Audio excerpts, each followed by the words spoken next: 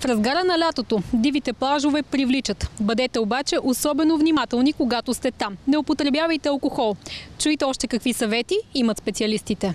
да не ги използват тези места за къпане и плуване, дори за водни спортове и да бъдат изключително осторожни при, дори и при риболов. Затова, защото ето последните дни показаха вече, че а, няколко удавения имаме на, при риболов, влизане в вода за, при различни случаи с въдиците, закачени и така нататък. Влизат рибарите и много често се случват инциденти, които, за съжаление, в някои от случаите завършват и с фатален край. Така че да внимавате риболовците.